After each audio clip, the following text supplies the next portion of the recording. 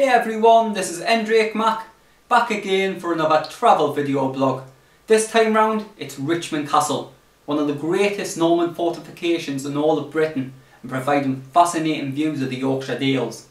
Richmond Castle was established as a stronghold to suppress the unruly subjects of northern England. Let us have a look at another piece of history.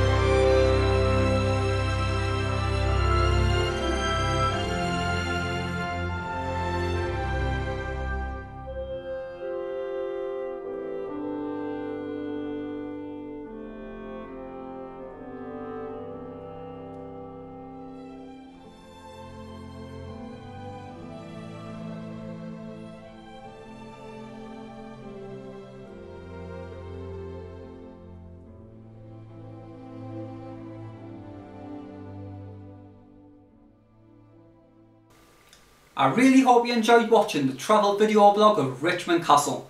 I've got more travel video blogs right here on my channel. This is Endrake Mac, signing out.